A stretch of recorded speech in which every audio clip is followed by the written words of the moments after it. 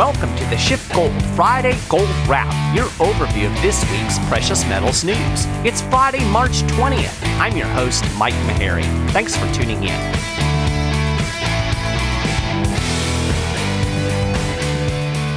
You know, it's pretty amazing how fast things are moving right now. I was actually traveling last week and into early this week. I drove through several states in the Southeast, and I can tell you that it is as nutty out there as it seems. You know, if you're sequestered in your home and just following along on the news or through social media, it's really eerie seeing empty store shelves and uh, restaurants closed up. It's just weird. Um, and the markets are weird. Uh, they continued their free fall this week. You know, everything is selling off. Stocks, of course, are way down uh, despite a rebound on Tuesday and, and some small gains yesterday. Bonds have sold off. Commodities, including gold and silver, have sold off. Now, there was a big rally overnight, uh, pretty broad based in stocks, gold, uh, on the overseas markets. And it looks like that could continue today into the US. As one article put it, policymakers have pulled out all of the stops and adopted a whatever it takes approach to dealing with the economic impacts of coronavirus. So we're talking like $3 trillion in stimulus pledged globally so far. So that's feeding a little bit of a market rally, I guess. But, you know, the possible stimulus fed rally aside, the only thing that really has shown a lot of strength over the last week is the US dollar. The dollar index has gone up seven of the past eight trading days. It's gained more than 8% including a 1.5% rise yesterday. So cash is king right now. Investors are trying to get out of everything and they're getting into the US dollar. Now, you know when the last time the US dollar went up like this? 2008. There are an awful lot of parallels between now and what we saw in 2008. So let's take a little bit closer look at gold. Uh, of course, the yellow metal spent most of the week dropping with everything else. It was well below $1,500 an ounce yesterday, but we did have that rally overnight along with stocks and other commodities overseas. As I record the podcast, we're at about 1518 an ounce. Now, interestingly, when I first started prepping the podcast, it was at 1516. So we've dropped about eight bucks this morning. So I'm not sure that rally's going to hold up, but I think you can expect volatility to continue. Now, overall, of course, gold is down like everything else, but I think it's important to remember it's not down nearly as much as stocks, right? We're basically even on the year. Gold was at 1517 an ounce on January 1st. Uh, now, put it into broader perspective, a year ago, we were at 1307 an ounce. Perspective on these things is always important. Now, a lot of people are asking me why gold, a supposed safe haven, is falling in the midst of a major economic crash. I mean, I think this feels unusual intuitively, right? But as I've said, gold also fell hard in 2008. In fact, it fell a lot more steeply than it is now as the financial system began to unravel back in 08. It fell 29.5% between March 2008 and November 2008. Then it started to recover as all the QE and monetary stimulus kicked in. Silver crashed even worse during that time. It lost 57.6% in just seven months through 2008. So, if you look at gold and silver in this crash compared to then, the metals are actually doing quite well, especially if you compare it to, well, pretty much everything else. Stocks have lost like what, 30% in just two weeks? So, Anyway, over the next three years, between 2008 and 2011, gold gained 166%, and silver, 448.4%. So, this is a long term event we're looking at. Some guy on Facebook was talking about the draconian responses to the coronavirus, and he said, if we save lives, it's worth a little recession. And I told him that calling what's coming down the pike a little recession is like calling the coronavirus just the flu. Now, I'm not one of those people who says the coronavirus is no big deal. It's not just the flu. Now, I'm not convinced that we should be shutting down the world because of it, but it is a significant health issue. But I'll be honest, I'm more concerned about the consequences of all the government and central bank response to the virus than I am the actual virus itself. They are just throwing fuel on the fire. And my gut is that all of these people hiding in the US dollar are going to be really sorry when all of this monetary and fiscal stimulus actually starts flowing through the pipeline. I mean, as Peter Schiff said in a podcast this week, this is bailout nation. Everybody is getting a bailout. They're talking airline bailouts, hotel bailouts. I've even seen a movie theater bailout pitched. The Fed is already bailing out the banks. And then there are the stimulus checks that it looks like the government is going to be sending out. Yes, we're like three weeks into this, and Uncle Sam is already firing up the chopper to drop the helicopter money on our heads. The government stimulus package they're talking about is to the tune of like $1.2 trillion. And the Fed, people often use the analogy of the central bank using ammunition to fight a recession. Well, if we're going to go with that analogy, the Fed is just basically wildly spraying machine gun fire at this point. Last week, we got the rate cut to zero. We got the quantitative easing. This week, we got more quantitative easing. The Fed said it will begin to hold two daily repo operations instead of one. Now, you'll recall that the Fed started running repo operations to stable overnight lending markets way back in September, which goes to show this is a little more than just about coronavirus. The central bank also relaunched the so called commercial paper funding facility. This is a 2008 financial crisis program that allows companies to take out unsecured short term loans. In practice, the Fed will buy commercial paper directly from companies, and the loans will have to be paid back within generally, it's a year the U.S. Treasury is going to provide $10 billion of credit protection to the central bank's commercial paper operation.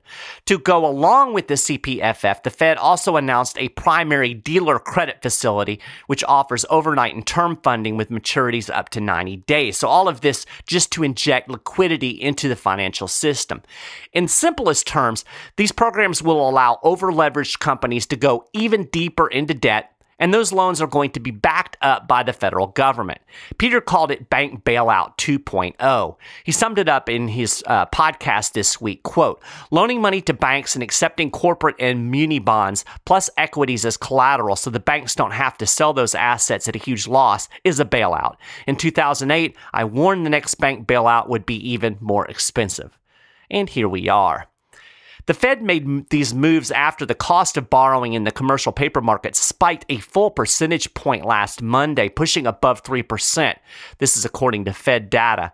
That means that even with the 100 basis point rate cut, market forces were still pushing interest rates higher in response to the increased demand for liquidity. This is another central bank manipulation to keep interest rates artificially low. With the economy slowing due to coronavirus, inflation should ostensibly be lower. So, why are bond yields rising? Because everybody, governments, corporations, individuals, they are all already deeply in debt the economy has very little savings. Again, Peter said the last thing the Fed wants is for the free market to function because then it exposes the gigantic mess that it's created. So it's doing everything it can to prevent market forces from raising interest rates to a market clearing level. The Fed has come in with QE and they have to buy up or loan money into the commercial paper market to keep interest rates from rising. Basically, the Fed is just rigging the markets at this point. So, yeah, it's bailout nation. Everybody is getting money. Here's the problem there is no money. Many people have likened this battle against coronavirus to a war and invoked imagery of the U.S. fighting World War II. President Trump has even deemed himself a quote, wartime president. The president told reporters at a White House briefing that fighting the virus would require a sacrificial national effort, just like it took to defeat the Axis in World War II. He said every generation of Americans has been called on to make shared sacrifices for the good of the nation. To this day, nobody has ever seen like it, what they were able to do during World War II. Now it's our time. We must sacrifice together because we are all in this together and we will come through together. But listening to all this rhetoric coming from politicians and pundits, you got to ask the question where exactly is the sacrifice? I mean, we're all getting bailed out. We're getting checks, right? Apparently, the government wants sacrifice with no pain. Unfortunately, that's not a thing. Americans didn't get checks from government in World War II, they got higher taxes. Peter summed it up in a tweet. During World War II, middle class Americans sacrificed to support the U.S. government's war effort. They paid much higher taxes, substantially reduced their consumption, and loaned their savings to the government. The people support the government. The government can't support the people. This is one of the most key phrases I've seen uttered in this entire uh, crisis or whatever you want to call it. The people support the government. The government cannot support the people. You are paying to support the government. You know, this is the ugly truth. There is no sacrifice without pain. The government can bail out the airlines, it can bail out the hotels, it can helicopter money in and drop it on your head. You are still going to pay, either through higher taxes in the future or through inflation. In the end, economics always wins. Trump is right. You're going to sacrifice for the government's actions surrounding the coronavirus. What he's not telling you is it's going to hurt. The government and central bank response to this economic crisis precipitated by coronavirus, it's creating the perfect storm for price inflation. The problem isn't a lack of money, it's a lack of stuff. We're all sitting at home and a lot of us aren't producing anything. Uncle Sam can stuff our mailboxes full of checks. That money doesn't do us a damn bit of good if there is nothing to buy. The end result will be a lot more dollars chasing a lot fewer goods. That's the definition of price inflation. It means you're going to see your stimulus check buying less and less. When inflation heats up, interest rates rise. That's the proper response. That's what the Fed is fighting. It's trying to keep interest rates low so that the debt bubble can continue on. How exactly is this going to work in a world up to its eyeballs in debt? This is exactly why Peter Schiff keeps saying that we are on the path to a dollar crisis. He said all the money the Fed is printing isn't going to have value. It isn't going to buy anything. Prices are going to skyrocket. And in fact, this coronavirus is accelerating that process because the coronavirus is reducing the supply of goods available to buy. Again, this is a perfect storm. I've always held to the theory that when the doctor tells you this won't hurt a bit, it's going to hurt like hell. You would be wise to treat politicians the same way. When they tell you the sacrifice won't hurt because they're going to make it all okay, you better hold on to your wallet because you are going to sacrifice and it's going to hurt. All I can say at this point is try to be prepared. Be as prepared as you can. You can talk to a SchiffGold precious metal specialist and find out how. Call 1 888 Gold 160 or you can email them at info at schiffgold.com. Now, I do need to let you know that due to extremely high demand and shortages on a lot of gold and silver bullion products, at this time, SchiffGold is only doing transactions of $5,000 or more.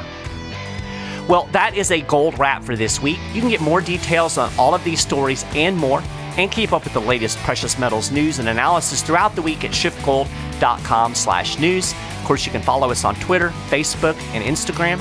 If you haven't done it already, you can subscribe to the Friday Gold Wrap over at iTunes or on the Shift Gold YouTube channel. Please stay safe out there, and I'll talk to you again next week.